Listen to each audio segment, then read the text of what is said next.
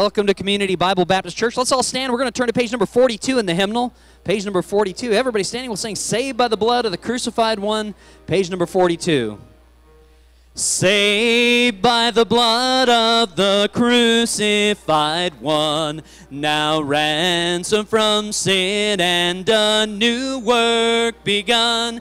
Sing praise to the Father and praise to the Son. Saved by the blood of the crucified one. Saved, saved. My sins are all pardoned, my guilt is all gone. Saved, saved by the blood of the crucified one. Saved by the blood of the crucified one. The angels rejoicing because it is done. A child of the Father, join heir with the Son. Saved by the blood of the crucified one. Saved, saved. My sins are all pardoned, my guilt is all gone. Saved, saved. I'm saved by the blood of the crucified one. Saved by the blood of the crucified one. The Father he spake, and his will it was done. Great price of my pardon, his own precious Son. Saved by the blood of the crucified one. Saved, saved. Sins are all pardoned, my guilt is all gone. Saved, saved. I'm saved by the blood of the crucified one. Saved by the blood of the crucified one.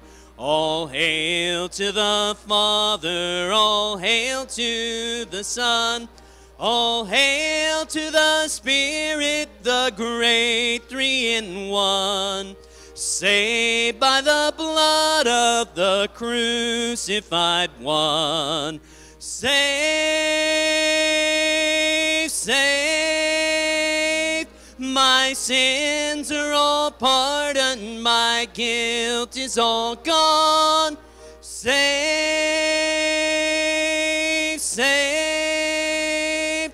I am saved by the blood of the crucified one. Amen. Amen. Well, we're glad to hear. Uh, we're glad to have you tonight. I got some popping, so if I fall over with a heart attack, that'll be what happened.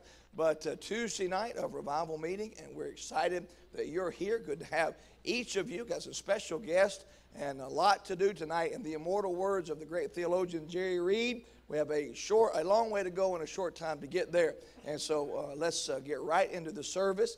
And I want you to meet some folks. If you're visiting tonight, your first time or first time in a long time, I want you to slip up your hand. Good to have the Reed family back here to the right. And uh, they're missionaries to Thailand. You'll meet him in just a moment. And not just missionaries to Thailand, but they're going at first to work with Trishan Horn. And we're just excited about that. Of course, Greg and Robin are here, and they're, of course, no stranger to us, but we're glad they're in tonight and uh, each of you get visiting. And we're glad that you're here and looking forward to a great night. Don't forget, tomorrow night, regular church, but there will be no bus stop and there'll be no master club. We'll all meet right in here and looking forward to the closing service. And so, and the teens will meet in here as well. So, everybody in here tomorrow night. And we're going to meet in this room tomorrow night. We're going to get to use this room because there's no bus stop. So, we're going to meet in this room. All right, any question about that?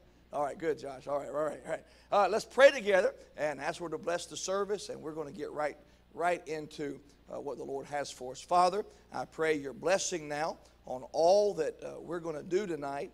And Lord, we do want to be mindful of time, but the truth is we're in the last days of the end times. And so, Lord, we need to concentrate on that which is the most important. And that's your word. That's the cause of Christ. That's world missions. And so we're going to hear the preaching and we're going to hear what you're doing, Lord, and the call to the Reed's life. And Lord, we're going to look forward to every aspect of this service. And we're just going to put on pause a little bit all the hectic schedule that we have so that we might enjoy some time in the Word of God, in God's house, and with the people of God. Pray you bless Brother Henson. I pray you bless Brother Jones. And uh, God, we just pray you use them tonight in a great, great way. We ask it now in Jesus' name. Amen. You may be seated. Now, now, let me explain. I would not normally try to put too much in a service, but uh, we wanted Brother Chris Reed to come for our missions conference, but he could not come. And the truth is, they're going to try their best not to be here for next year's missions conference because they want to get on the field. And uh, this is a connection, not through just the Horns, uh, who we support and love dearly, but uh, Chris's wife is a friend of mine.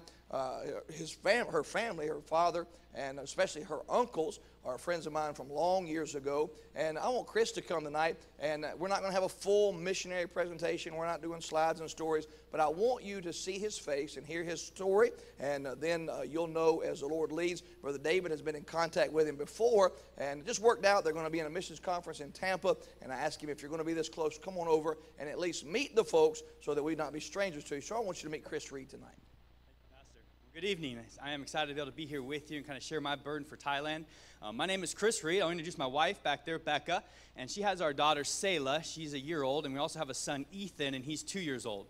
It was a year ago, a little over a year ago, when my wife and I were in Thailand and walking through the streets of Thailand where God really burdened us for that country. When you're in a country of 70 million people with 94% Buddhist, Buddhist temple after Buddhist temple is on every corner. You have Buddhist monks walking down the street. You have people on their knees giving gifts to a Buddhist monk and, and giving some kind of chant and blessing.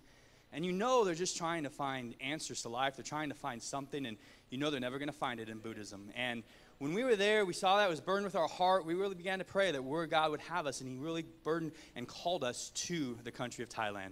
And we're excited about that. We are, we've been on deputation now for coming up on a year.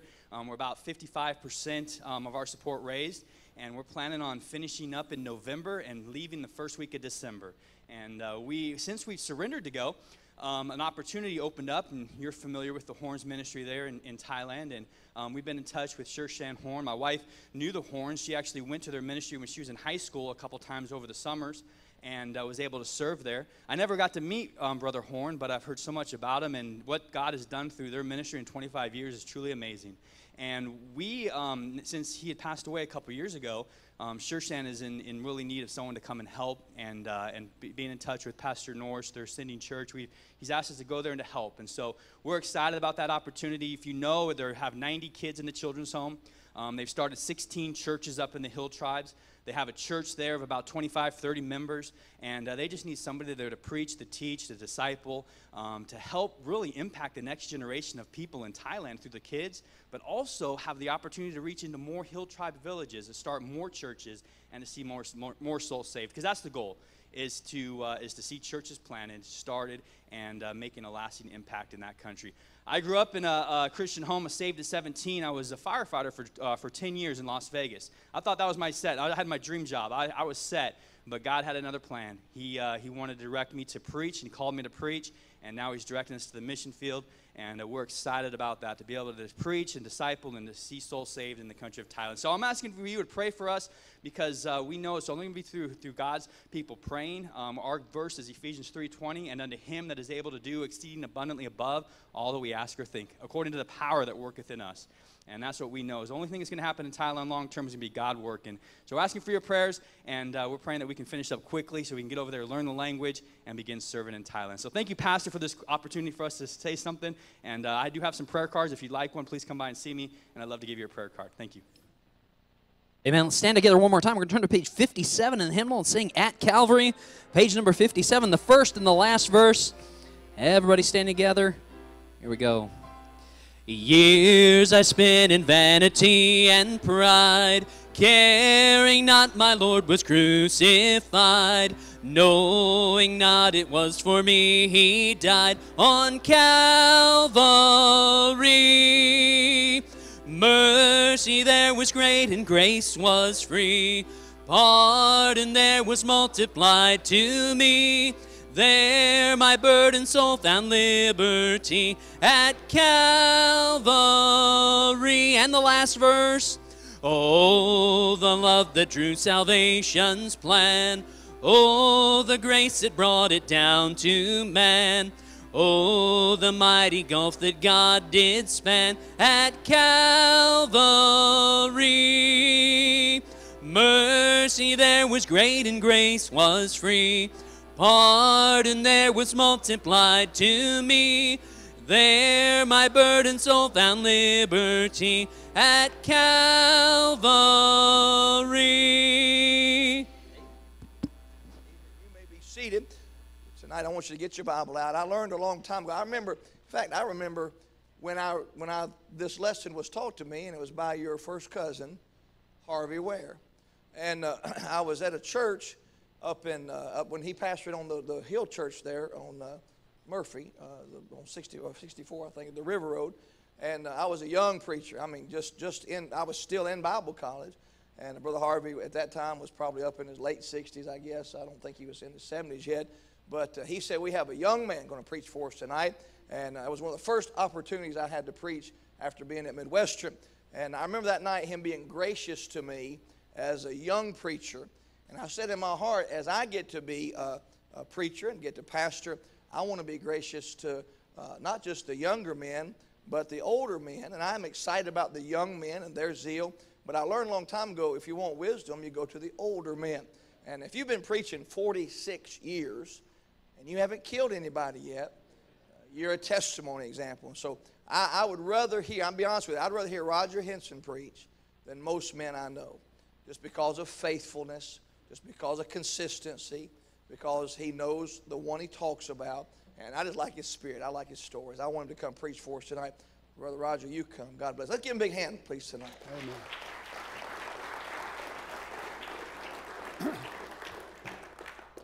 It is good to be here. In my condition, it's good to be anywhere.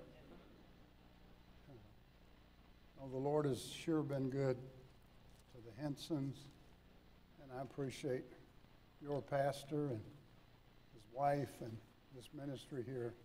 It's just wonderful. I'm going to read in in 2 Timothy chapter 4. You can be turning there.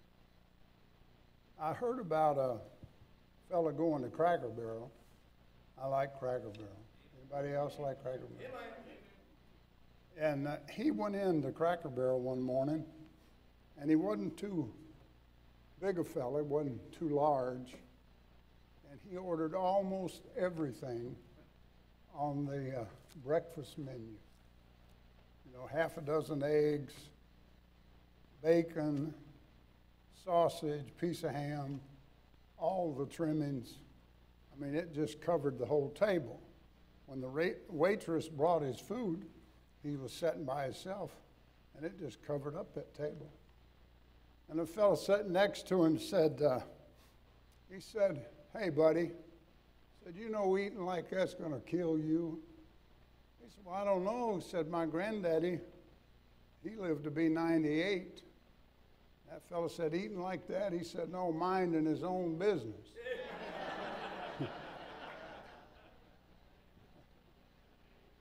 that same guy came back that afternoon to the same cracker barrel.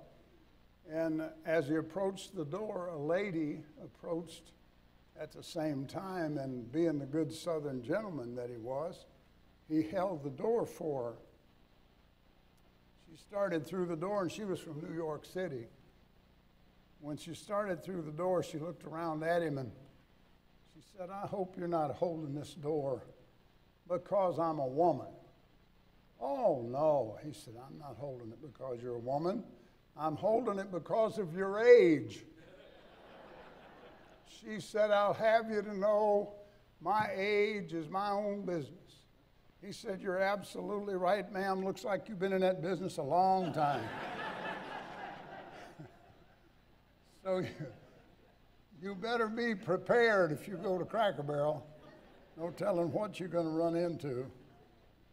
2 Timothy 4, I want to read a few verses here, and, and uh, try to give you what I think the Lord gave me. Right in verse number one I charge thee, therefore, before God and the Lord Jesus Christ, who shall judge the quick and the dead at his appearing and his kingdom. Preach the word, be instant in season, out of season, reprove, rebuke, exhort with all longsuffering and doctrine.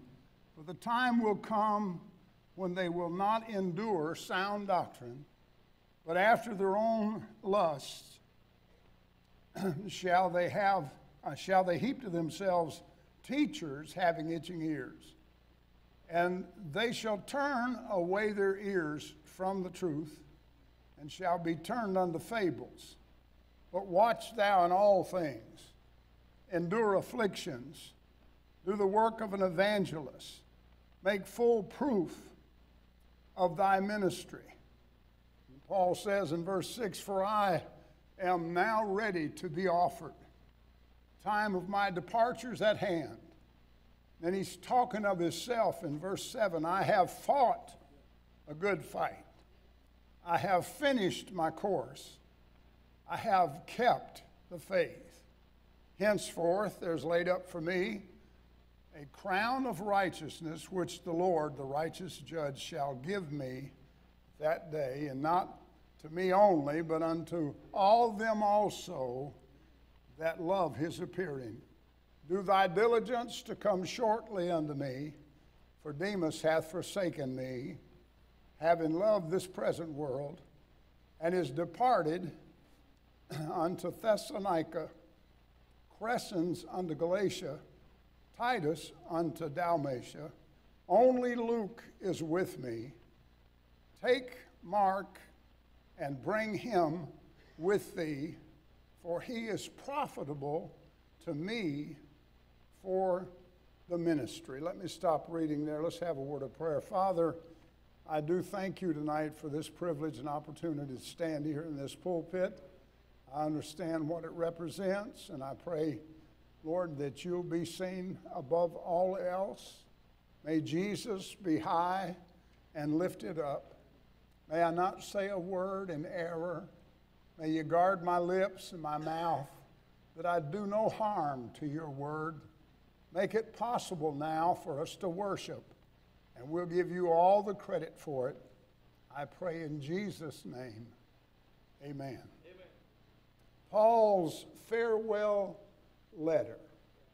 I think he's the greatest Christian of the church age. I think that's who we're reading after. If you count Hebrews, he wrote 14 books in the New Testament, and I do. And I thank God for this powerful little man. According to history, he was a diminutive man, not that large a person.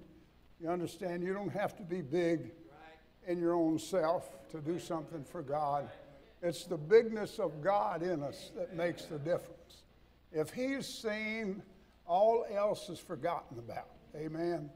And here, Paul is really, he's given this discourse uh, to one of his sons in the faith. Even the book is named after him, Timothy.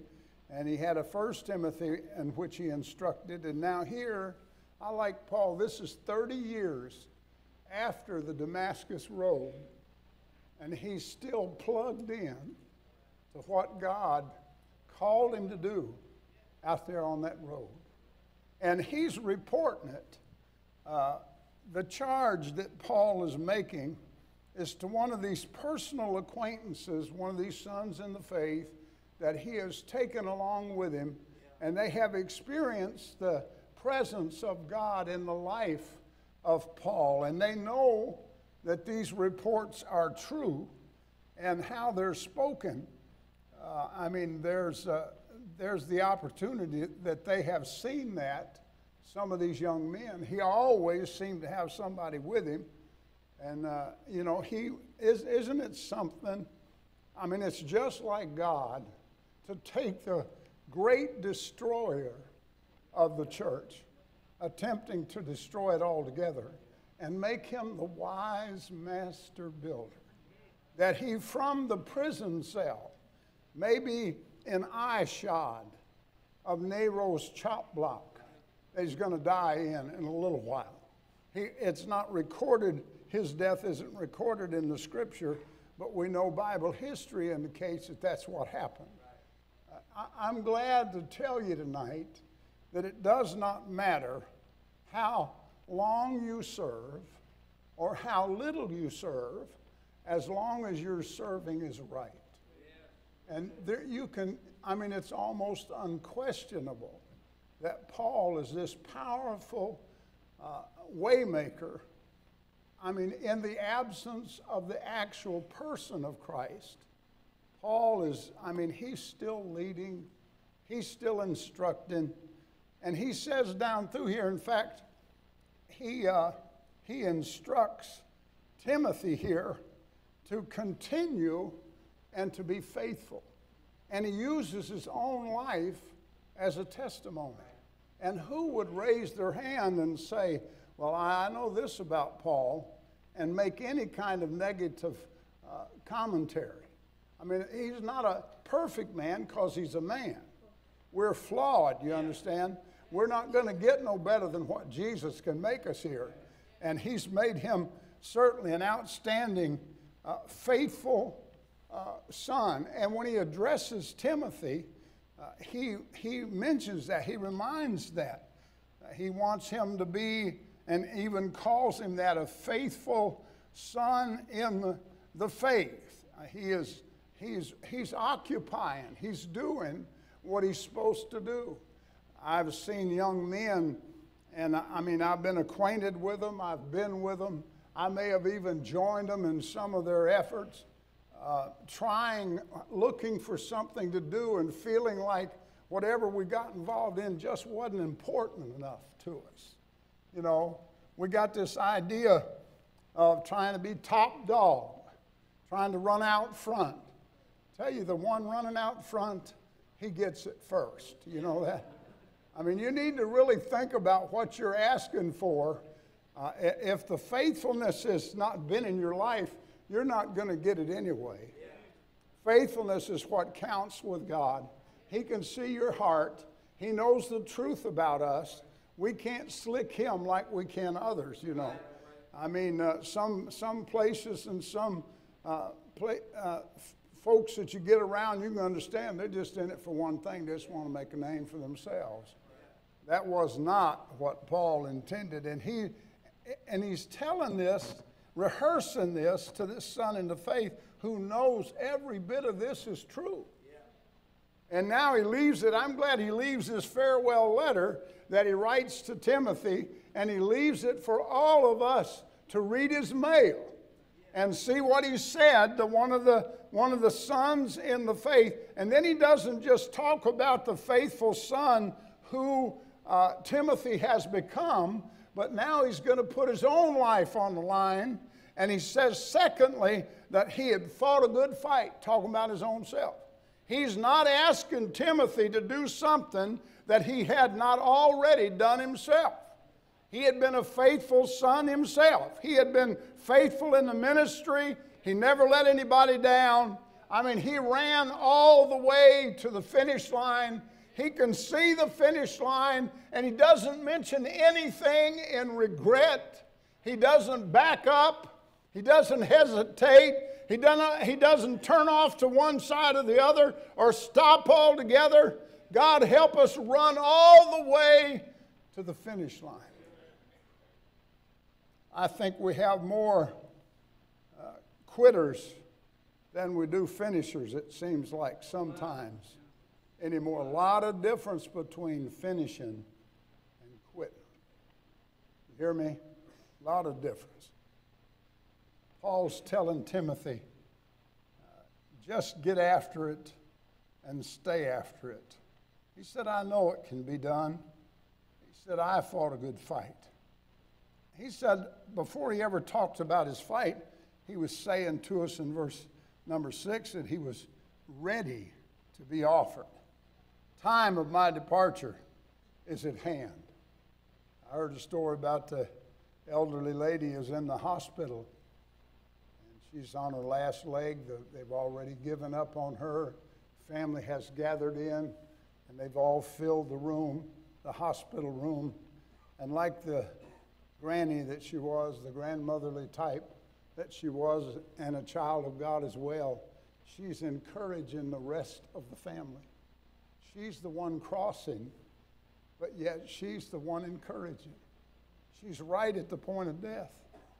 And one of the children says to her, Mama, this is going to be it, it looks like. She said, Well, they had come in just a brief time before and took some more blood. And she said, Let's just wait and see what the blood has to say. Can I tell you, when I get to the end of this thing, I'm going to be real glad for what the blood has to say. The blood of Christ has set every old vagrant sinner, every old vagabond, every old worthless piece of flesh can get all they need at Calvary. You don't need Jesus plus something, minus something. You just need Jesus. He is the supreme sacrifice for the supreme sinners and any other kind of sinner. We all, are you listening? We've all been blighted by the devil and his trick. But here come Jesus with his grace again, just about the time I needed it. He showed up. Faithful son mentioned of Timothy. There's the good fighter, fought a good fight.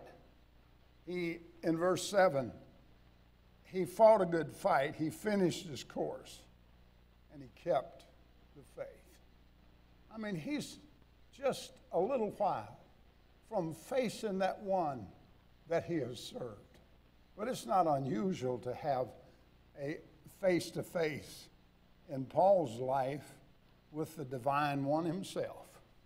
He was accompanied by him in all of those struggles, all of those times.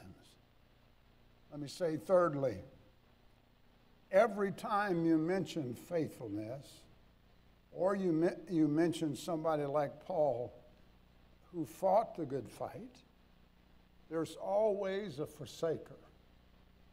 And Demas comes to mind. And I believe Paul and Timothy are heartbroken over the departure of Demas. Demas sounds a whole, whole lot like demon, devil. See, departing the faith links you up more with the evil one than it does with the Lord. The Lord never shied away, He never turned away from any hurdle, from any obstacle, from anything that came toward Him. I'm glad we got a good Lord. The Bible said when he came into this earth that he fixed his face as it were a flint toward Jerusalem. He would not be deterred, he would not be stopped, he would not be in any way intimidated. Well, his disciples were even surprised. They had three and a half years with his teaching and preaching, and it's still some of the things that happened seem to catch them off guard. You know why? Because we're all limp a little bit in our brain, some more than others. And don't raise your hand to brag about it, okay?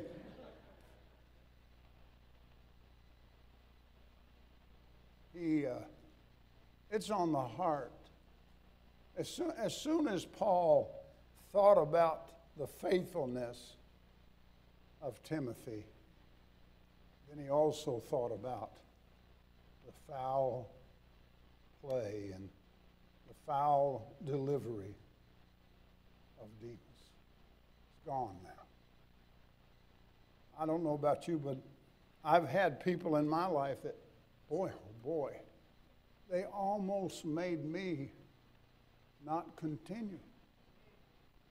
I mean, I've had some I run with a good ways, and I mean, I was ordained with a first cousin into the ministry. And he's so far gone now, he won't even speak to me on the phone. And I've done nothing to, I never flaunted his choices, the wrong ones that he made. You know why? I make wrong ones. So do you. We're not to judge. But Paul's understanding that things are different. He's closing it out. He says, let me say, uh, Demas was the forsaker. But then, as soon, about the same time, I think, in Paul's mind, that he thought about a forsaker, he thought about a friend in Luke. And Luke is with him. And it's, uh, I mean, it's, uh, it's a hard thing to think about. But Paul was almost like Jesus in some ways that when he had to get out of town, sometimes had to sneak out because they were after him, some in a vicious way, and some just wanting to follow him. And they couldn't all go with him. And Paul would, you know, they let him down one time, the side of a wall. That also tells you it couldn't have been too big a fella. I mean, you, can you see them letting me down the side of the wall in a basket? If they could have found the basket big enough, they'd had a hard time getting the crowd big enough to hold the rope. But they let him down by the wall. He was fearless. He wanted to face them down. He wasn't afraid of them. But others around him were trying to protect him somewhat. Paul has reached a place where he, only Luke, he says, only Luke is with me. That's that close friend. Stays right with you all the way to the end. He's in this prison house, going to die in a little while. He's probably been able to see the chop block and maybe even activity in it, knowing he's coming up in a little while. Luke's with him. You say, well, how can you get encouragement from that friend? Because, I mean, it's pretty neat. Here's Paul in the jailhouse, who they're going to execute in just a little while and he's keenly aware of it. And he's telling us in the last letter that he writes to us, he, he is telling us in this letter that it's almost over. Time of my departure is at hand. And only, the word only has a negative connotation with it. Only Luke is, remember, he used to have an entourage. Right. But now it's down to just Luke. But consider, I mean, uh, yeah, it's Luke, ain't it? Yeah. Only Luke's with me. But consider who Luke is. It's Dr. Luke, right? I mean, you think that it was accidental or coincidental that his personal physician is with him in jail. We know of Paul's illnesses and uh, speculate about them. He talked about, many people think it was eyesight, and his eyes were growing ever dim, maybe to the point of complete blindness was coming. He talked about one of the epistles. You see how large and hand I write.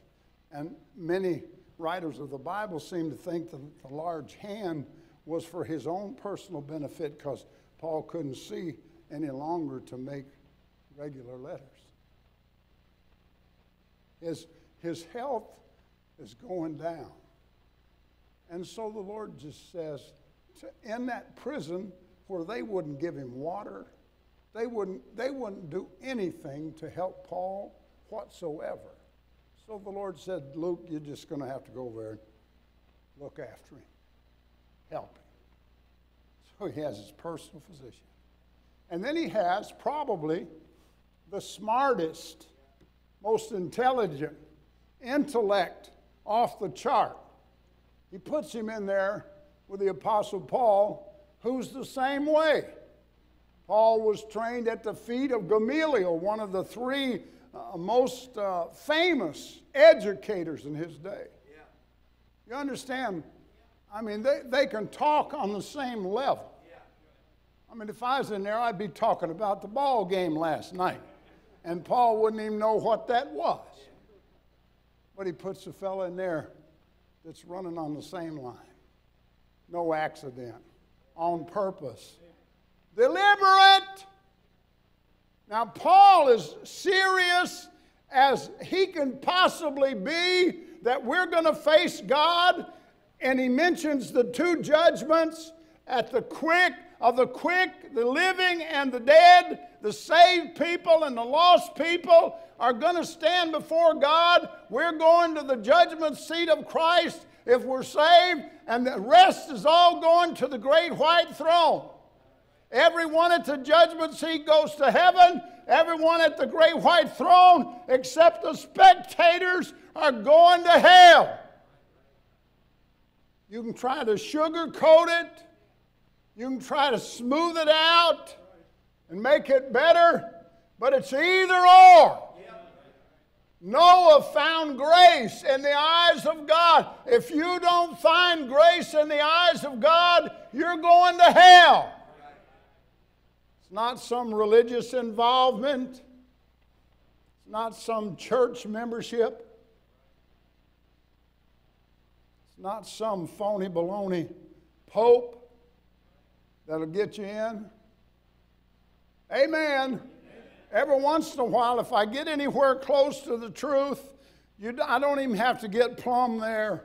But if I get close, you don't have to make no racket. But every once in a while, do you good, just nod your head.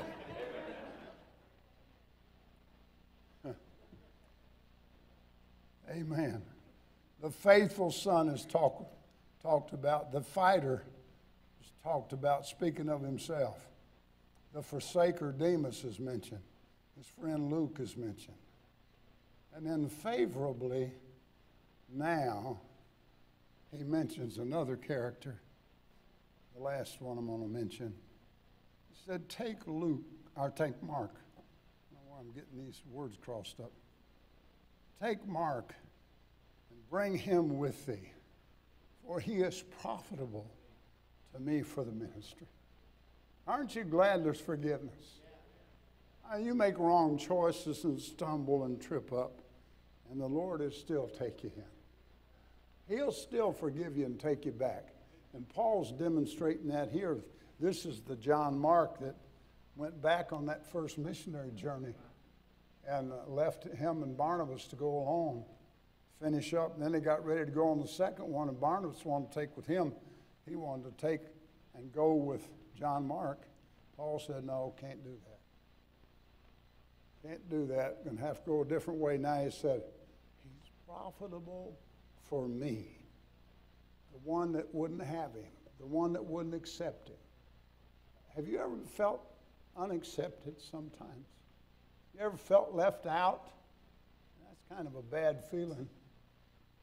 Paul said, Bring him with you over here.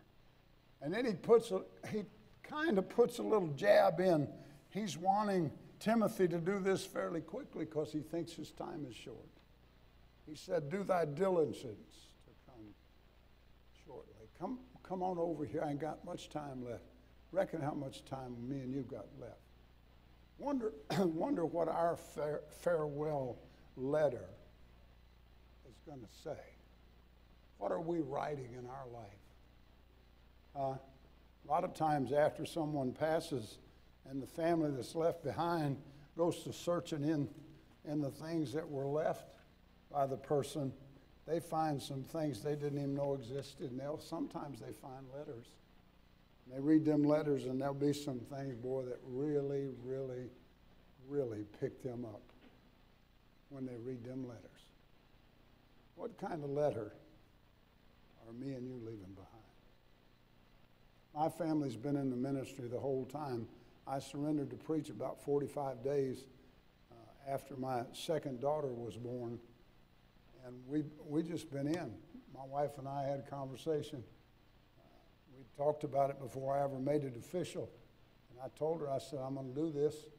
She never objected. She's never objected in 46 years about the ministry itself. Got a whole list of other things but it hadn't had anything to do with the ministry. She's been in there the full way. In fact, sometimes she's pushing me. Huh? Paul's farewell letter. I'm glad he put it in the everlasting chronicle. So we could, you had a bad day lately? You're not looking at a chop block, are you? Huh? You're not threatened within an inch of your life. He's dying in just a little while. How is it for you? Had a good day? Thank God you have. Medical research, things that have happened. I told my wife's going to go have cataract surgery uh, in the next couple of months, first eye and then second eye. And it's amazing. I, I've told my family several times when I was a little boy, almost all the old people couldn't see across the room. I, am talking about not too old, in the 60s. And there wasn't no such a thing as a cataract. They had Lincoln Continentals, but they. but they didn't even have, they couldn't even help them. Most of the elderly died with real dim eyes. They couldn't hardly see to know who you were. And look how we've advanced. God has blessed us. And we throw His blessings away like they're cheap and they're not worth anything. And we talk about the expense and all that kind. You still live in the greatest country on earth. We've got all kinds of sin and all kinds of ill, but I'm glad we still reach the world with the gospel more than any other nation I know about. This young man and his wife, what a wonderful thing to do. Give their life to the ministry. In a foreign country, I think suffering for Jesus is when I can't find a holiday inn on the interstate, trying to get in a bed somewhere to stretch out this frame. And they're going to a different culture and a different world. Pray for them and all the missionaries you know. Let's bow, bow for a word of prayer. Thank you for listening to me. Paul's farewell letter. What would yours say? If you wrote one, stuck it in a desk somewhere, and they found it later on? Would you be bragging about the Lord? Or would you be majoring on some complaint that maybe you've had for some days? God help us to see the big picture, not just the little narrow stuff. Father, I pray tonight that you'll set the Word of God in us in such a way as for you to get glory and us to get help. And we'll tell everybody that you did it. Amen. What's the last thing that you wrote on Facebook today? What's the last thing you wrote in your journal? What's the last thing you texted somebody? Well, preacher, it was just, it I was just mad at my wife and I just sent her a, a little note. What if that were the last thing because you had a, a car wreck or motorcycle wreck or whatever. Uh, you're going to have the last thing at some point. Uh, some of us from Val Verde, and I'm, I'm not saying this in a, in a you, you don't even have a problem. You ain't seen a problem.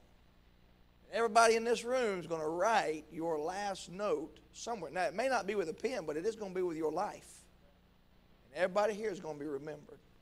And I'm praying. I, I think about it now more than, and obviously there's reasons why, but uh, I want to finish uh, where when I do write it, it's worth reading. Amen. Amen. I certainly want to be uh, writing a good finish line. All right, brother Bobby, you come, and uh, we're going to sing one more song. Then we're going to get the ladies up and uh, sing for us.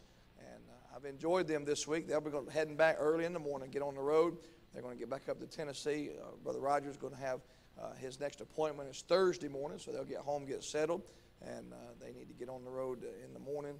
But I've enjoyed them greatly. So as soon as we sing this last song, we're going to have the Henson ladies come sing for us. Let's stand all together one more time. Turn to page 78 in the hymnal. When we all get to heaven, page number 78. Sing the wondrous love of Jesus, sing his mercy and his grace. In the mansions bright and blessed, He'll prepare for us a place. When we all get to heaven, what a day of rejoicing that will be. When we all see Jesus, we'll sing and shout the victory. And the last verse. Onward to the prize before us, soon His beauty we'll behold. Soon the pearly gates will open, we shall tread the streets of gold. When we all get to heaven, what a day of rejoicing that will be. When we all see Jesus, we'll sing and shout the victory. Amen. You may be seated.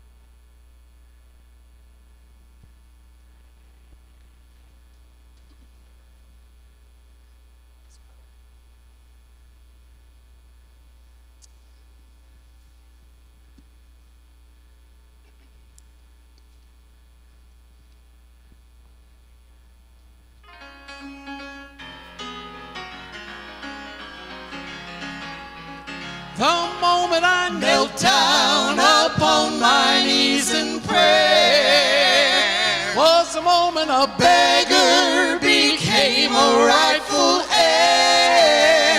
Gained everything this heart of mine, and he filled me with glory divine.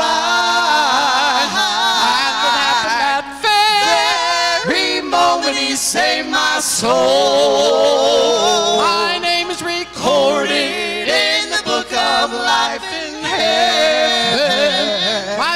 Sins are washed away by the blood of Calvary. Since the day that the blood was applied, forever I stand justified. And happened that very moment he saved my soul. I'll never get over that grace, rich and free. The longer I live,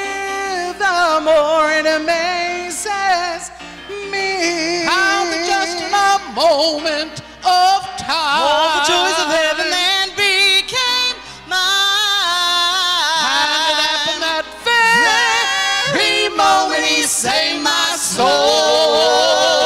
My name is recorded in the book of life in heaven.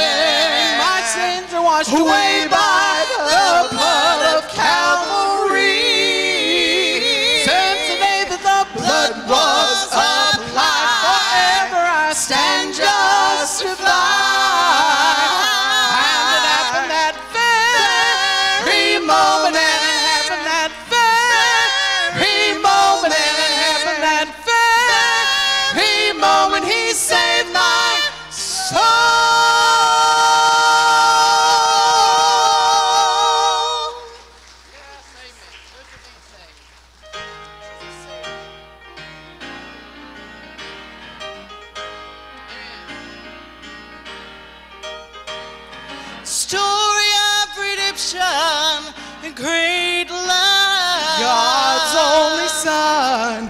down from above to die on Calvary for one such as I.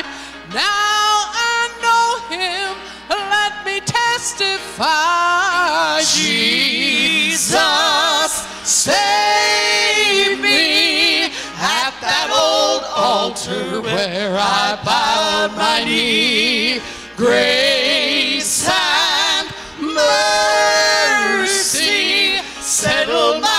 my sin debt at Calvary. Sin stains are no longer. Oh, the blood, it was stronger. I know that Jesus saved me.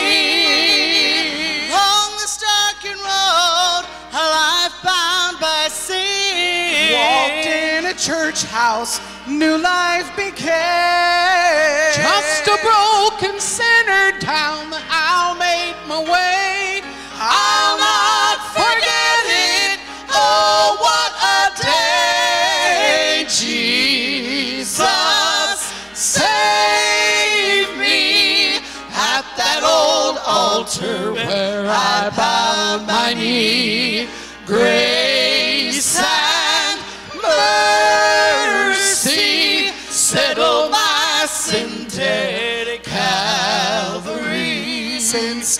Are no longer. Oh, the blood, it was stronger. I know that Jesus saved me. Saved by his power divine. Saved to new life sublime. Life now is sweet and my joy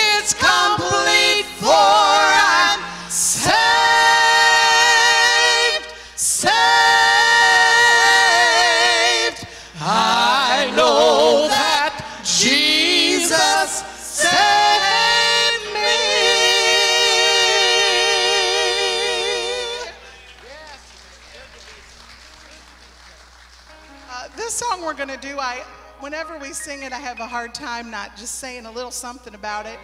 But you know, Mephibosheth, it's such a picture of such a wonderful treatment by a king to him, and he was a nothing, a nobody. Um, the king before was his grandfather, and Saul had been killed, and so Mephibosheth was left, and that was all that was left. And he did eat continually at the king's table, King David. But, another part of that story is a little few more chapters down, and it talks about where David had been away from his throne, and um, Ziba, the servant, lied on Mephibosheth and told King David that Mephibosheth had wanted his throne while he was gone. But that was a lie of the of Ziba, who was, you know, being an instrument of the devil, I, I guess, but just wasn't telling the truth. And Mephibosheth's response was the most wonderful thing. He said, Take it all. He said, I'm going to take half of what I gave you and give it to Ziba. I'm going to take it back. And Mephibosheth said, Take it all. He said, Before you came along, these are my words, but before you came along, me and my house were a bunch of dead men. And that's the way we ought to feel. Do we serve the Lord for what He gives us and what He's, or for who He is and what He is?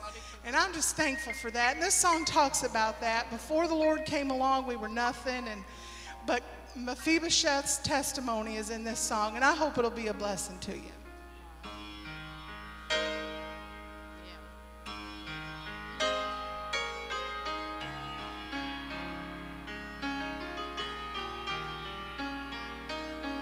Just a young man crippled from a fall. Lived in Lodebar, had nothing at all.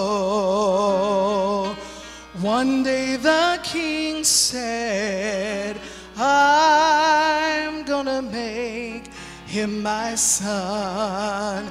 And from that day on,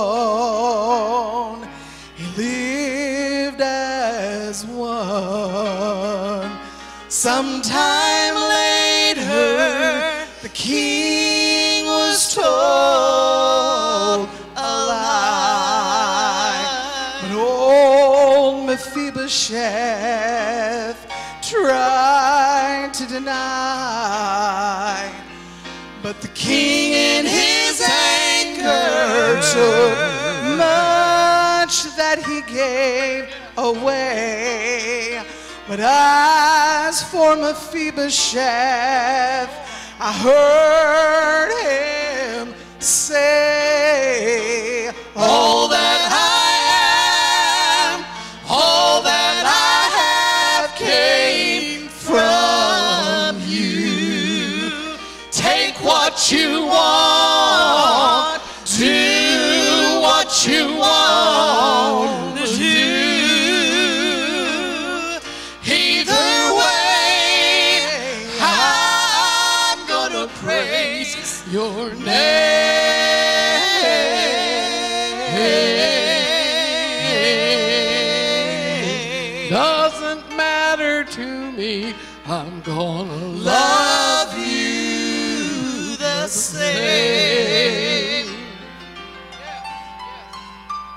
There's no virtue, there's no value in me.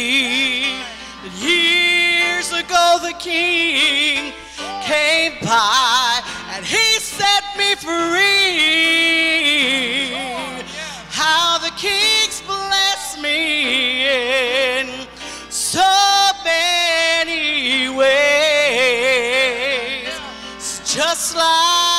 Mephibosheth of old, I too can say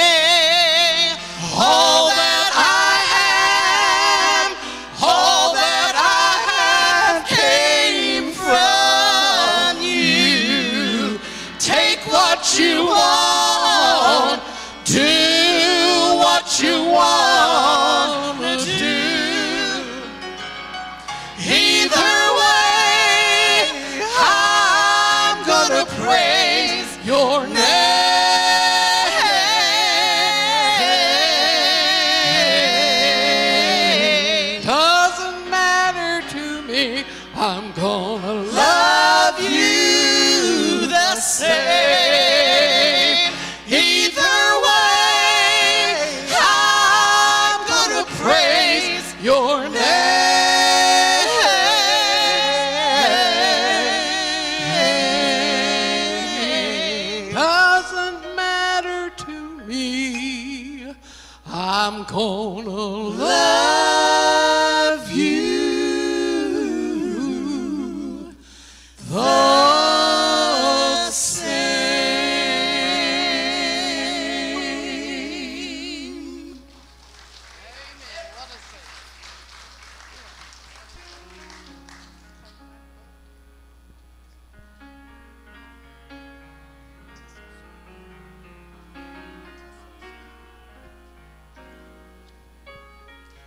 Going to sing this song that's out of this old old book, song book here. This was one of Micah's, our son's favorite songs that he sang. He sang it at his grandmother's funeral. He sang it by himself. And I guess it was like eight days before he went home to be with the Lord. He sang this at his grandmother's funeral. And he loved this song. I love it too, and I hope it's a blessing to you, like it has been to us. Tis so sweet to trust in Jesus, just to take Him at His word, just rest upon His promise, just to know thus saith the Lord, Jesus,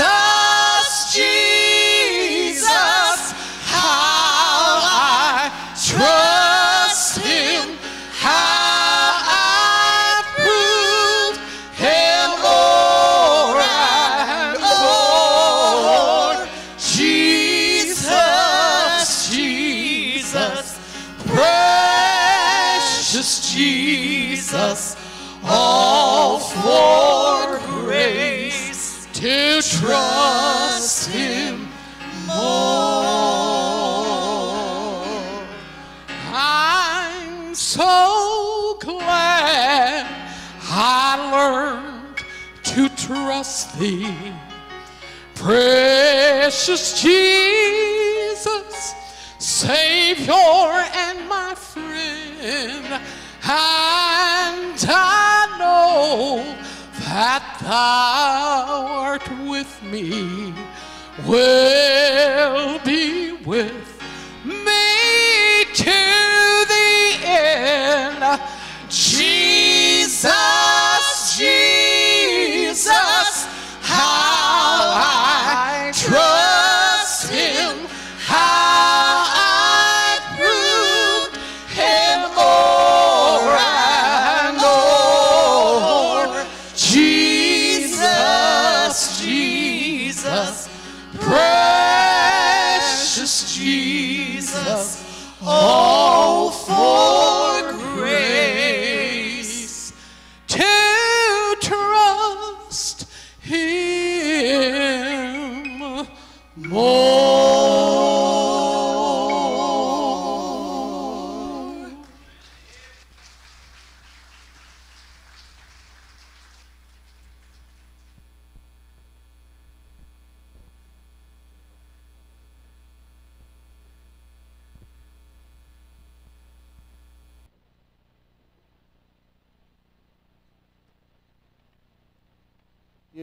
that. Say amen. Amen. Looked at Brent. I said, You're not going to brag on me anymore tonight? Not going to say anything else before I come and preach? And he said, No, I've said enough. Get up there. Get up there.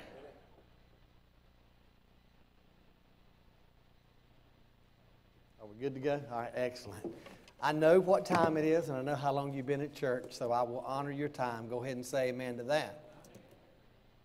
But I do, I do um, believe that the Lord has one more thing for us. I want to, and I, and I trust that, that you'll listen because I really, I, I, I honestly wish I had like three more services with you. There's like a couple more. I've not preached on the family. I like to do that in revival.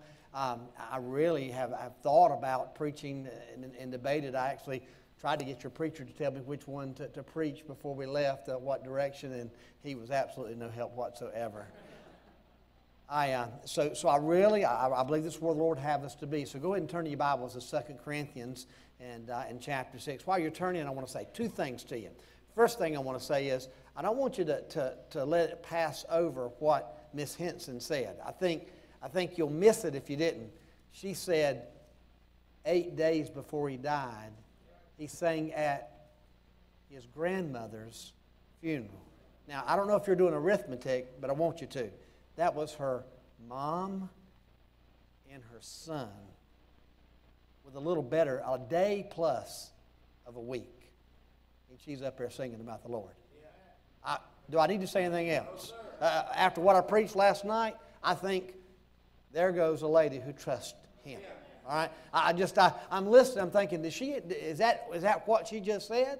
You know, mom, son. My hat, heart. There goes a lady who loves the Lord. Second thing, preacher, thank you for having me.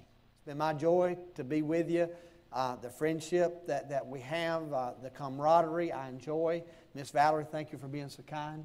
You, uh, you have, I, I really want to preach on the, the role of a pastor tonight. I'm not, but you have some of God's choice servants right here. They are great, great people. Do not take for granted what God has blessed you with. I could say it and say it and say it. Do not take for granted. Um, your pastor, Brent, has vision. He has heart. He is a pastor's pastor. He has all the things that you desire. He's got some drive to him. You want a man with drive. And uh, it's just, uh, I, I'm just, amen and amen. And Brother Henson, thank you. Thank you. If for nothing else, how long you, and there's plenty I could say, but for how long you stayed on the firing line. Now, my, I, I want to finish, not quit. When you say, I, I want to finish and not quit. And um, what a blessing it's been. I, I, uh, I've come to try to be a challenge to you, but I'm going to go home blessed too. And uh, that's part of it. And, and I think um, revival sometimes is good for the pastor, the one doing the preaching, as it is for the people. And I hope that it's been a two way street because I've thoroughly enjoyed spending time with you. All right, we really don't have time to visit, okay? So let's all stand and pay honor to God and His Word, 2 Corinthians chapter 6, and uh, let's jump right into to learning a lesson. I'm going to preach a message that is an unusually titled message and an unusual direction, but I'll prove the direction uh, and, and the need for it after I give you the title. The title is A Positive Look at Separation. I want to end the revival in a positive note. And, and the reason why I said a positive look is it seems to me in, in our fundamental Bible believing churches that we, we look upon the subject of separation in a negative way, and that is not at all how God gives it. And, uh, you know, I'm even going to backtrack and say in my early days of preaching, and I, you know, I've been at one church now for 29 years, your preacher told you that, but in my early days, I would preach on separation. I, I, I'd almost be ashamed for you to see me like, bless God, with a snarl on my face. And I was preaching in such a way, if I was sitting in the pew, I'd say, I know He's right because it's in the Bible, but I don't like it. Problem with that is that is not the way it's presented in Scripture. I'll show it to you and I'll prove it to you. And we'll leave on a positive note. For you see, if you come to revival and you hear God's word preached and you go home saying, I know He's right, but I don't want to do it, then I've lost and you've lost and God's not been honored. But if you go home saying, I love him, I love him so much I want to be close to him, and I realize that biblical separation is a pathway to closeness, oh my, we all win, don't we? And that really is what I want to do for just a few moments. Okay, I'll honor your time, but I want to change the way you think about biblical separation. I want to take the snarl off your face a little bit about, I know it's right and I ought to hear it, but I don't want to hear it. I want you to leave going, oh, yeah, yeah, this is the direction I want my life to be. Okay? The Bible says in verse 11 of chapter 6, O ye Corinthians, our mouth is open unto you and our heart is enlarged. Doesn't sound like to me Paul's coming across kind of ugly. Sounds like to me he's coming across a little compassionate. Man, I, eh, let me transliterate that for you. I just love you. You Corinthians. Now, if there's ever a church that'd be hard to say I love you, it'd probably be the church at Corinth. I think most of us would acknowledge it was probably the most difficult church that Paul had to pastor. But look at what he's saying right here. Our mouth is open, our heart is enlarged. You're not straightening us, but you're straightening your own bowels. Now, for recompense in the same, I speak as unto you, my children, be also enlarged. Really pretty King James, and here's what we're saying I love you like a child, and I want you to grow. That's what he's saying. So, so I want to just off the bat, can we see that, that Paul's not coming across with a bless God mindset that I've been guilty of preaching this passage with? Can you see the attitude of the great Apostle Paul that Brother Henson was describing to us? And indeed, everything he said and some is Paul. But can you see, it's not at all in a condescending, I'm the man and you listen to me. Not at all. I love you like a child. I want you to grow up right. I want there to be a heart that changes because of this truth. Be ye not unequally yoked together with unbelievers. For what fellowship hath righteousness with unrighteousness? And what communion hath light with darkness? And what concord? That word concord means agreement. Hath Christ with Belial? Or what part hath he that believeth with an infidel? And what agreement hath the temple of God with idols? For ye are the temple of the living God. As God has said, I will dwell in them and walk in them, and I'll be their God, and they shall be my people. Wherefore, come out from among them and be separate, saith the Lord, and touch not the unclean thing, and I will receive you. I'll be a father unto you. There you go again. You shall be my sons and daughters, saith the Lord Almighty. I want to read verse 1 of chapter 7 because I really believe it doesn't end there. Having therefore these promises. What promises? The ones he just got through giving to you. That's why I don't want to stop there. Having therefore these promises, what I just got through saying, dearly beloved, let us cleanse ourselves from all filthiness of the flesh and spirit, perfecting holiness in the fear of God. Father, thank you so much for the opportunity that's been mine to preach your word here.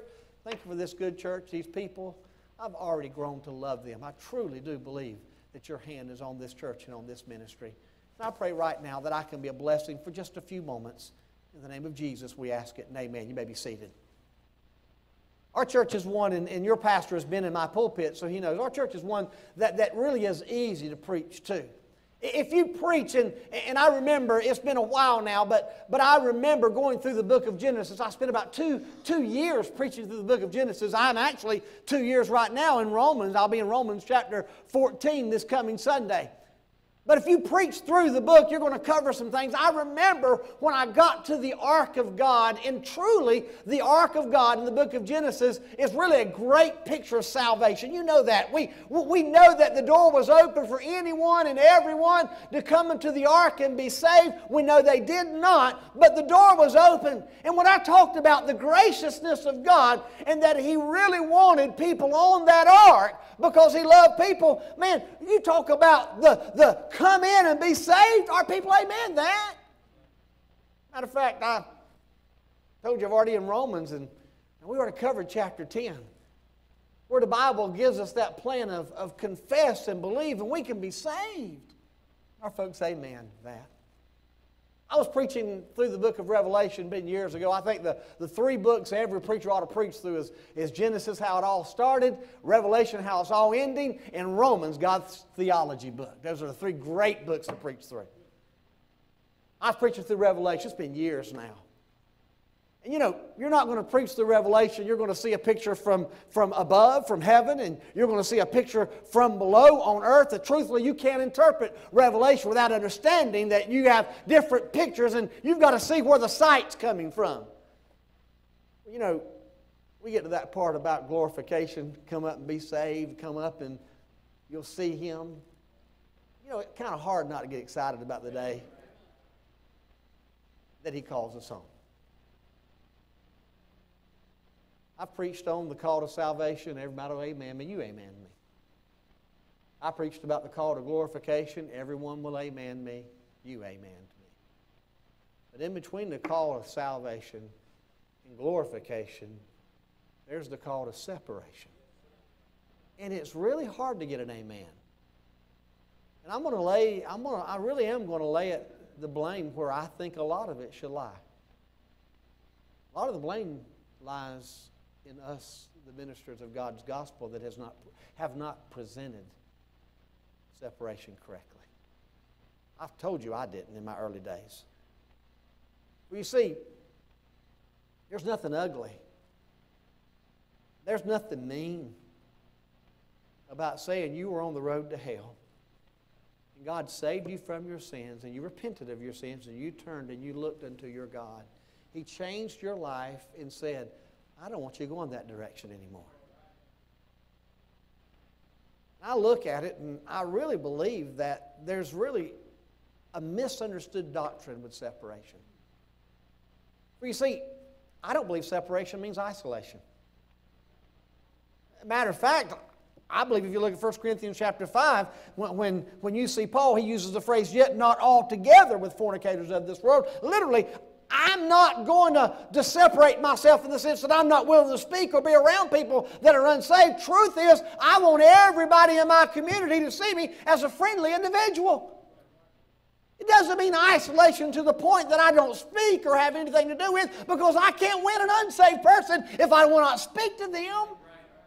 So separation is not isolation. I'll tell you something else. Separation taken to the extreme really is the stuff that monasteries are made of. I heard one man make the statement you know that living in a hole will not make you holy? Isn't that true? And I think sometimes that's their mindset that, that, that well, I want to be holy, so mm, don't talk to me. Um, that's ridiculous. I'm against legalism. Now, no, I know we're a fundamental Bible believing church right here. I know that. But hold, hold it now. You're against legalism too. That's adding works for salvation. Not someone with high standards. That's not what legalism is. Legalism is saying you have to do anything besides place your faith and trust in Christ to be saved. Are you against legalism? I'm against legalism. Do you know sometimes there have been some people that have taken the doctrine of separation and they've made legalism out of it. So I, I look at the fact that I don't believe in isolation making me holy. I, I really don't think living in a monastery is the way God would have me to go. And I certainly do not want to add works to salvation. And I'm thinking there are people that when they hear the word separation, that's exactly what they think. We've got to change that. We've got to look at the text and understand that. I wrote this. This is just from Jeff Jones, me just, just thinking about this. And I, I, tell you, I write sentences and put them on my computer when I'm working on a sermon so that I'll stay focused on, on the theme. Here's what I wrote Biblical separation should be a truth in my life, not that makes me feel miserable or cramped or restricted, but an avenue toward closeness between God and I. Now, I'm just thinking that you're not going to you're not going to read a book on that, all right? That's just me thinking. But I want to read it again. I want you to get it. Biblical separation should be a truth in my life, not that makes me feel miserable, cramped, or restricted. God's not putting you in a box. Not that makes me feel miserable, cramped, or restricted, but an avenue toward closeness between God and I. I don't think that's negative at all. Matter of fact, if you want to be, honest with you, I think it's wonderful that I can say no to things that will ruin my life so that I can walk with a God that loved me enough to die for me can never be ugly. It has to be positive. Let's look at the text. Just you'll see three things quickly. First, I do want you to see God's position here.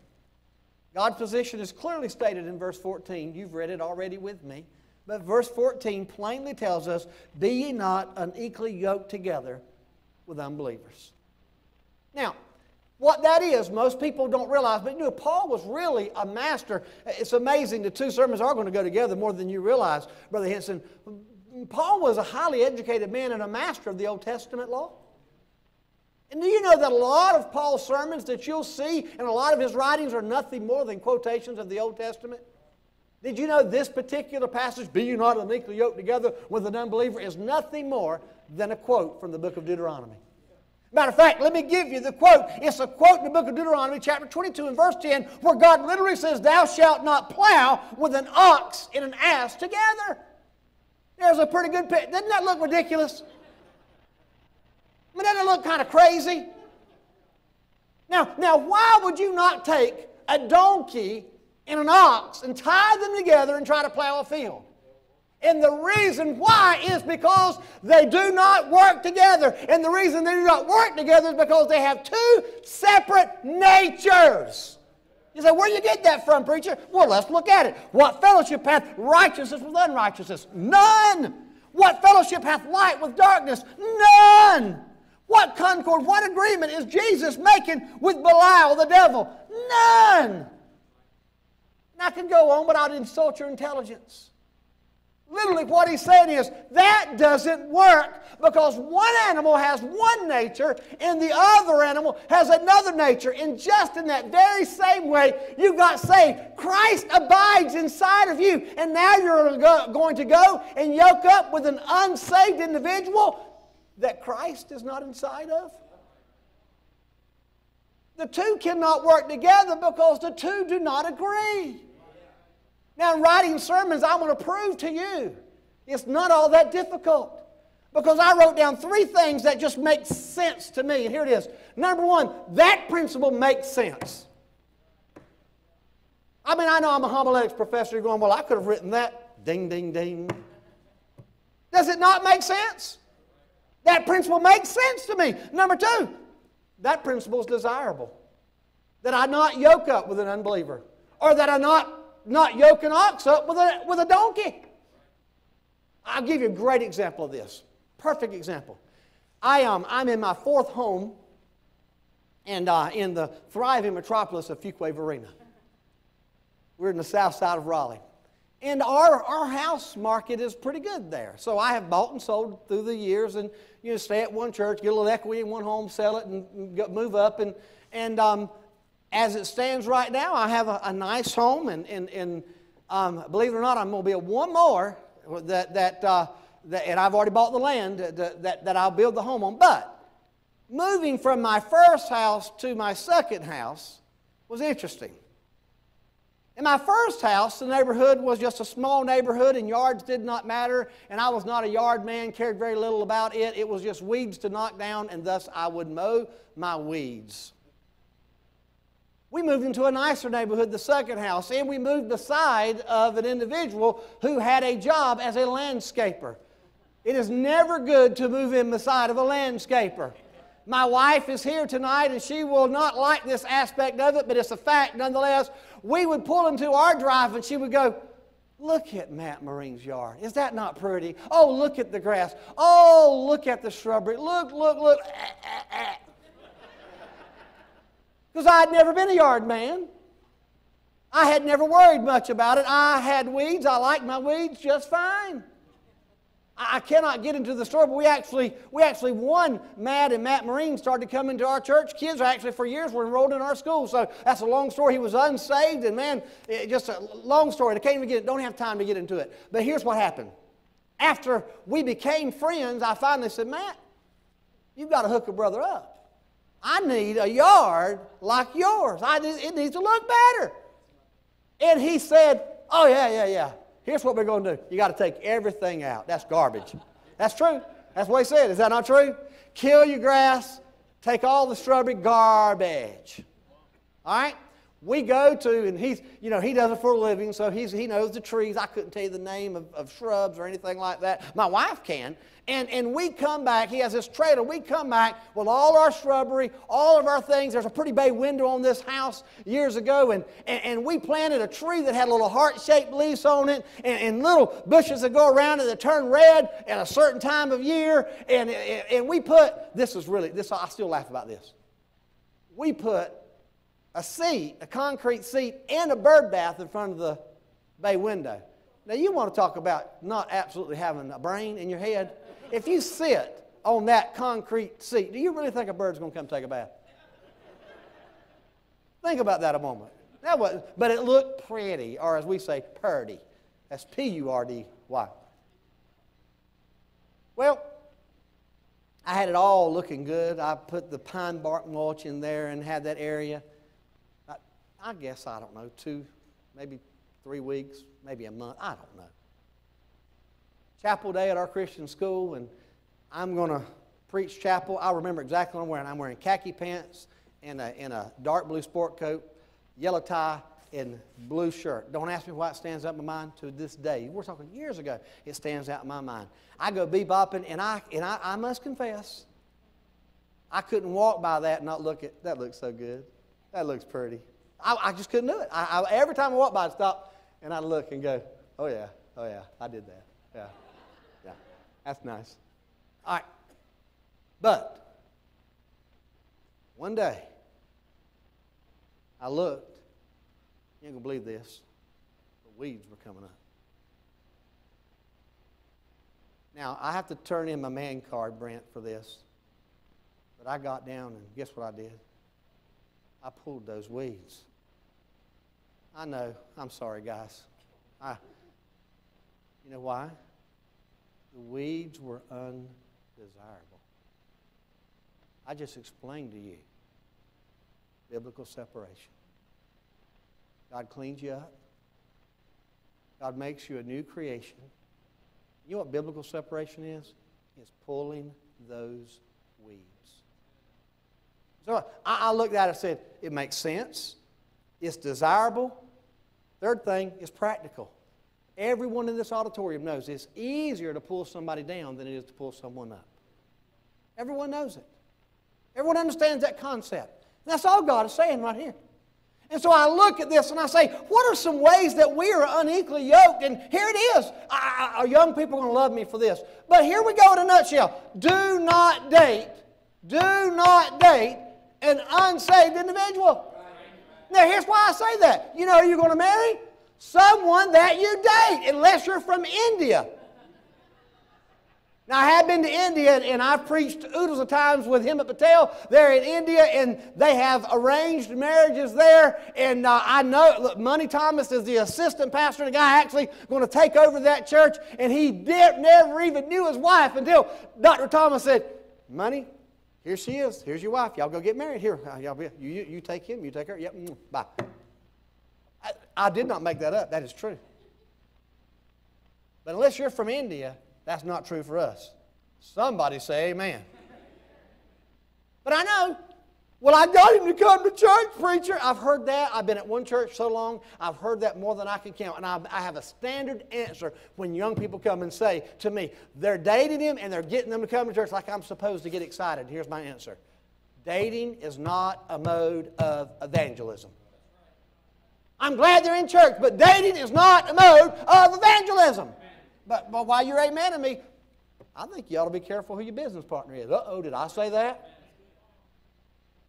I can take you to a lady right now that is still, I said still, paying the price because she went into business with an unsaved individual. She came and talked to me before she did it, trying to get my rubber stamp. She had already decided to do it before she ever talked to me. I told her then it was a mistake, and, I, and she knows I use this when I go and preach. She said, Tell everybody, there is a difference. There is a difference in somebody who's an honest person with character and somebody who's unsaved. Now she makes payments on a business that's defunct, and he did the paperwork to where she's making the payments. He walked away scot free. But you know, why should she be surprised? He's unsaved. Can I say to you, and I need to hear this sometimes, even close friendships. I'll help this church if you'll listen to me. Stealing this from Dr. Dobson, credit where credit's due. I'm listening to him, and he said there's three modes of friendship that you need to understand. There's the first circle of friends, and everybody should be in that, in that circle. Saved or lost. I want everyone to perceive me as friendly so that I can talk to them about Jesus. Right? You move to the second. This, these are people you'll go out with and, and you'll develop a relationship with and, and friendships with, and they begin to affect you, and you begin to affect them. There's a third category. Those are your closest. Those are what we would call your inner friends. Dr. Dobson says truly, if you have five real, real, true inner circle friends, you actually are blessed. He said, Look at this group right here. That's who you are. That's who you are. Watch me. Unsaved, everybody I meet, I want here. As we develop relationships, people move from there to here. Brother Brent and I are definitely here now. I have a trust in him. Matter of fact, I would dare say we'll, we, I, I could foresee us moving just the way we view ministry. I need to be picky about who's here. I can't imagine an unsafe person being in this circle with me. No telling what I'd be.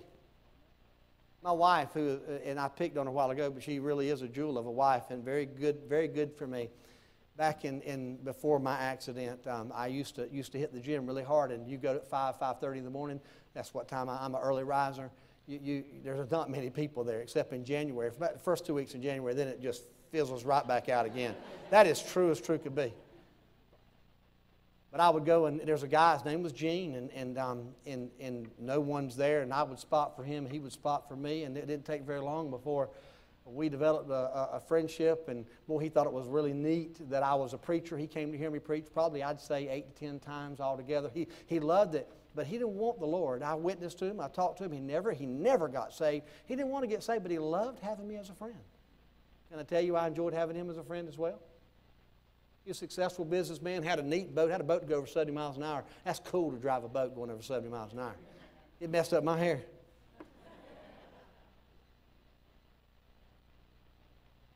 My wife said to me one day, she said, Jeff, I, I want to remind you, he's, he's not saved. And I'm like, Honey, he, he, drink, he would drink, but he would never drink around me. I said, You can't. I said, I can't go to a restaurant with you and you, you have a, a beer there. I just can't do it. Who I am matters. And stuff like that. So I, I was like defending. No, no, it's not. But he's not coming to church anymore. He's not. My ability to win him, obviously, and of course, it's the Lord does to save him, but, but he basically, in his mind, crossed the line. No, the answer is no. And that does happen sometimes. But he wanted to be close to me. He liked me. And I liked him. But my wife was right. He definitely was in this category with me and was headed here and blatantly told me, I do not want to be saved. I'll think about it. Now, let me tell you what I didn't do. I didn't walk, Rich, your, your, your Gene, for just a moment. I didn't walk and say, unclean, I can never talk to you again. Leave me alone. Get behind me, Satan. I never did that. I started backing away. Just backing away. I, I think to this day, he would take, he, he lives in a different area now, he would tell you, just my friend. But he knew I made a willful, because I, I'd lost the influence to see him get saved. I wanted him to get saved. But now he's beginning to affect me. Now look, I'm a preacher of the gospel. If it could happen to me, it can happen to you. And you cannot, you cannot be close to people that do not trust in your Christ. The ox doesn't need to be yoked up with the donkey. That's not to, to, to put us on a, is a fact that natures don't agree. They don't work together.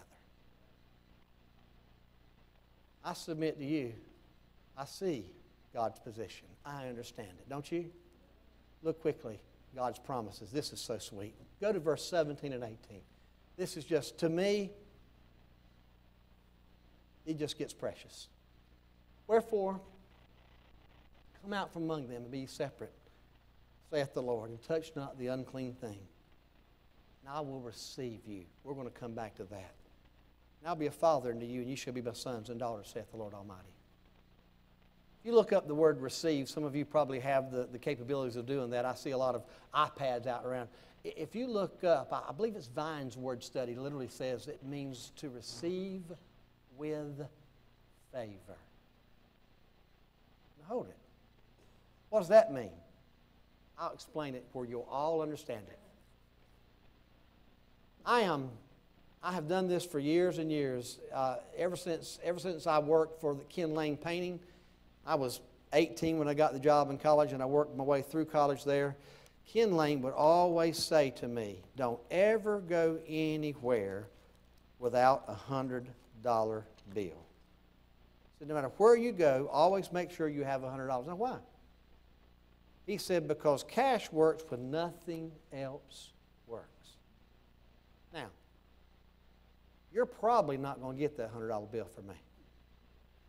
You might come to me afterwards and say, Joe, Jeff, I really need it. And I guess if it was really, really desperate, I might pray about it, but you're probably not going to get that. But there are. There are a couple of girls that could. One's name is Stacy. Stacy's 26 years old. And she's married now, but you know, there's something about her that has my heartstring. She's mine. The other's Leslie. Of course, she gets a whole lot more than $100. I'm still paying for her college bill right now. But you know, she came to me and said, Daddy, I really, really need the money. She'd probably give it. Why am I telling you that? Go back to the verse. Wherefore come out from among you and be separate, saith the Lord, and touch not the unclean thing, and I will receive you. I'll receive you with favor.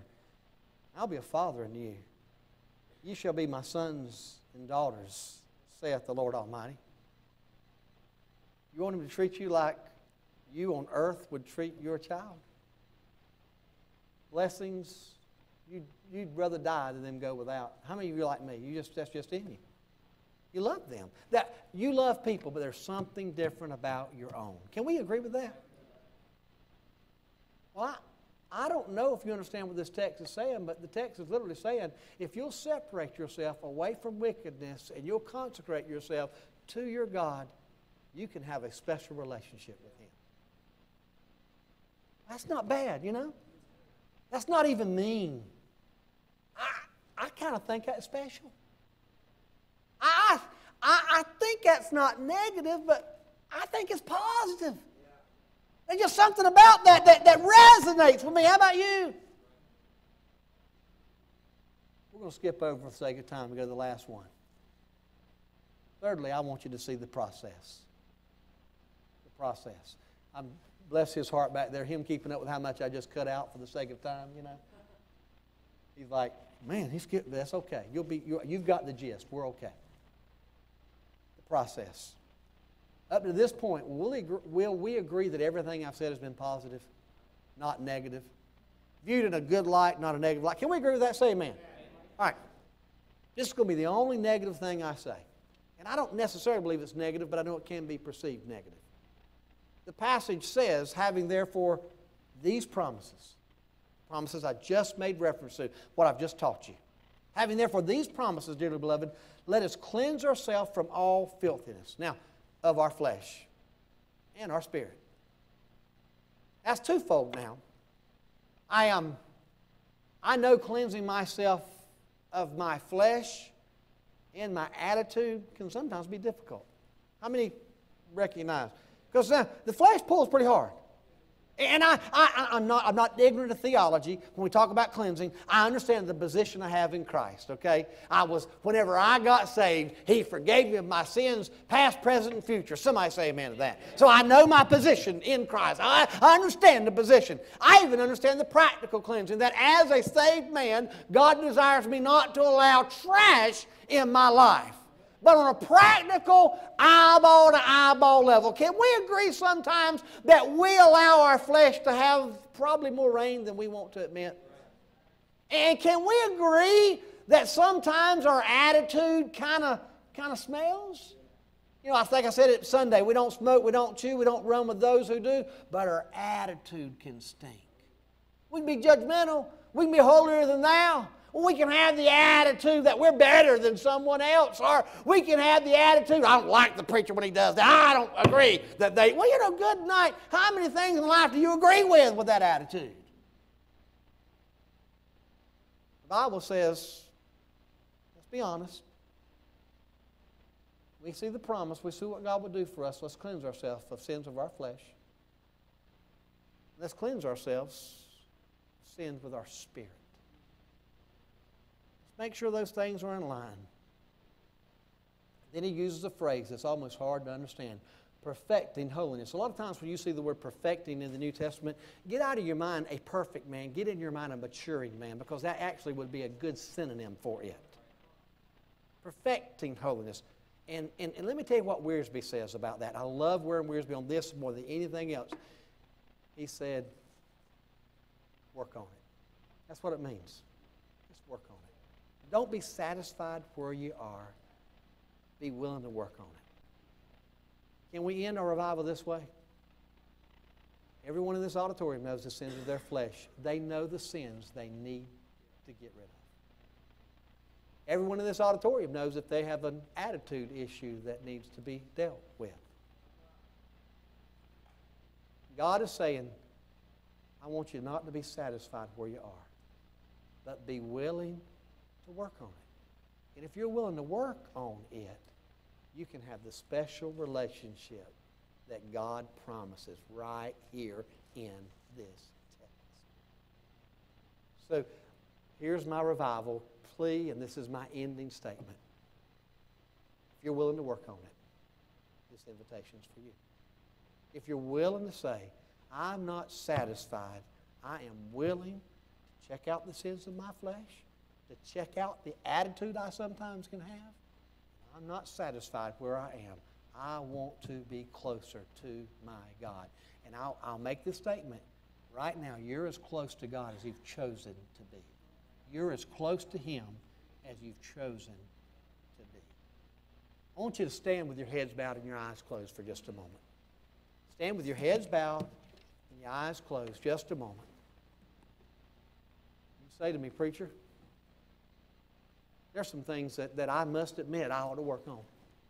I've, I've listened to what you had to say. I see the text. I, I see the promise that I can have in God. If I work on it, I recognize there are some sins in my flesh and there are some sins in my spirit that they need to be corrected. That's me, preacher. That's me.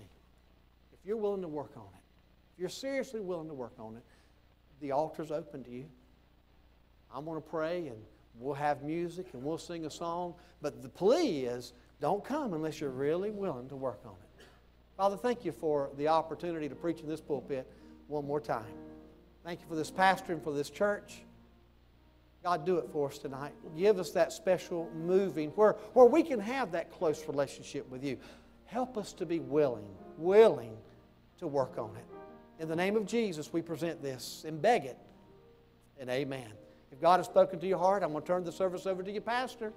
But if God has spoken to your heart and you're willing to work on it, I certainly desire for you to do it even now, even tonight, as God speaks, as we sing, brother.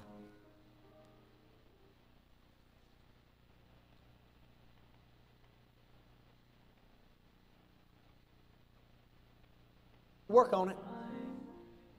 I'm willing to work on it. Pray. Find in me thine all in all. Jesus paid it all, all to him I owe. Sin had left a crimson stain, he washed it white as snow. Lord, now indeed I find Thy power and thine alone can change the leper's spots and melt the heart of stone. Jesus paid it all, all to him I owe. Sin had left a crimson stain, he washed it white as snow. For nothing You need to good come tonight. You have I, place. whereby thy grace You'll find that you receive I will lot wash more from my God than you'll ever garments give white in the blood of Calvary's Lamb. Jesus paid it all, all to Him I owe. Sin had left a crimson stain. He washed it white as snow. As your eyes are closed, folks are still praying. Jeff told me, he said, I'm going to just bow your head just a moment. Play softly, Antonelli. He told me, he said, I'm going to preach on separation. And, uh, you know, I, I look at our church and, and I know where we are as a pastor's job. If I could ever get you to see what he gave tonight, the positive side of it, it would help you. You said, preacher, to help the church. It would, but it would help you so much to understand the only one that limits God in your life is you. He can't be that father to you until you come out so that you are more important than friendship, association, relationships.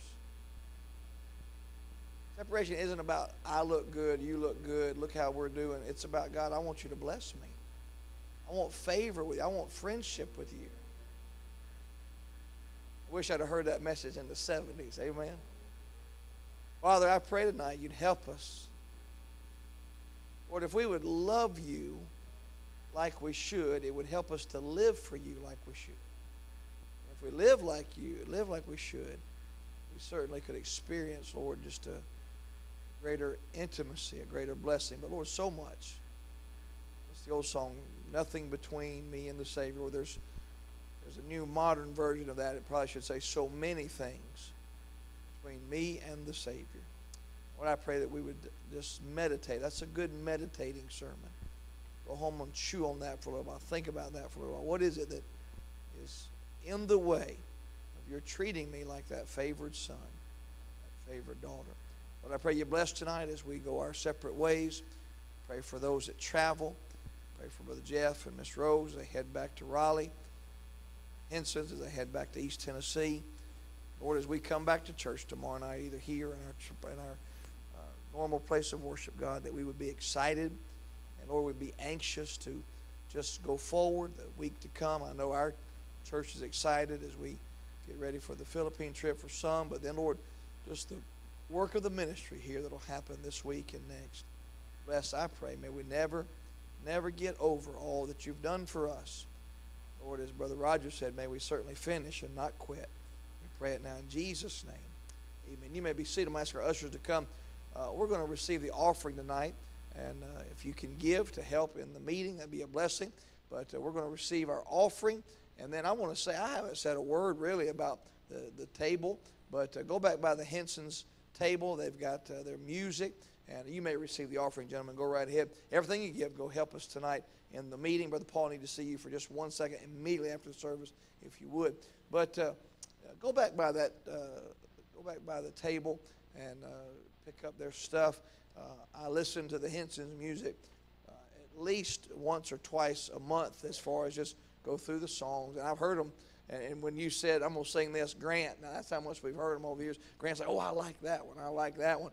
And uh, there's songs, there's so many songs. Valerie and I have a playlist that they never do. And every now and then we'll say, y'all do this one. And they say, well, it's, it's been so long since we've sang that, uh, we may have forgot the words to it. And that's Renee right there. She forgets the words. But anyway, uh, there's so many great songs. Micah wrote over 175 songs, many of them recorded over the years. So I uh, also want you to go by and uh, spend some time, Brother Jeff. And uh, boy, I want you to meet our missionary tonight. What a blessing uh, to have these guys here. You pray for Brother Chris and his wife. Uh, his father in law, Brother Paris, is in Israel and appreciate him so very much. Uh, his mother-in-law we don't appreciate that much, but his father-in-law we do. Just kidding. And uh, we're going to be dismissed. Brother Jonathan, glad to have you. Good group down.